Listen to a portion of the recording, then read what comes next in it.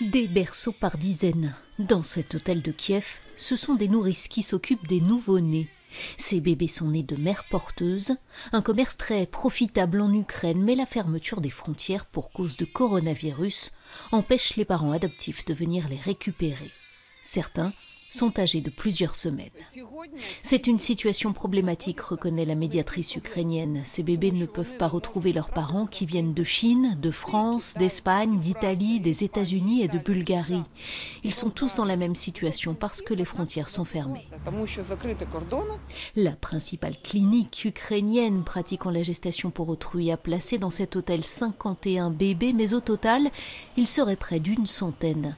Pour pouvoir entrer sur le territoire ukrainien, les parents adoptifs ont besoin d'une autorisation spéciale délivrée à la demande des ambassades. Or, certaines s'y opposent, la GPA étant illégale dans leur pays.